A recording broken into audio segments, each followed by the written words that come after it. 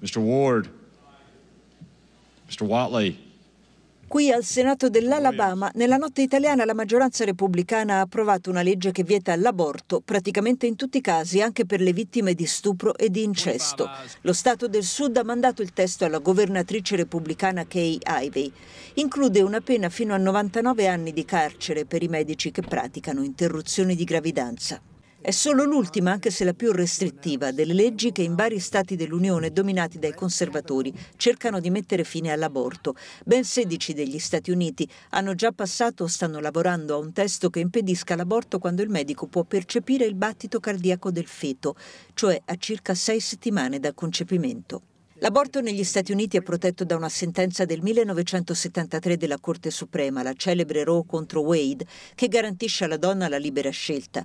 Le leggi dei singoli Stati sono quindi incostituzionali, ma lo scopo è proprio riportare la questione aborto alla Corte di Washington, ora a orientamento conservatore. E in molti Stati a maggioranza democratica i senatori stanno cercando di emendare le costituzioni locali proprio per tutelare l'interruzione di gravidanza in caso la Corte Suprema rovesci la situazione.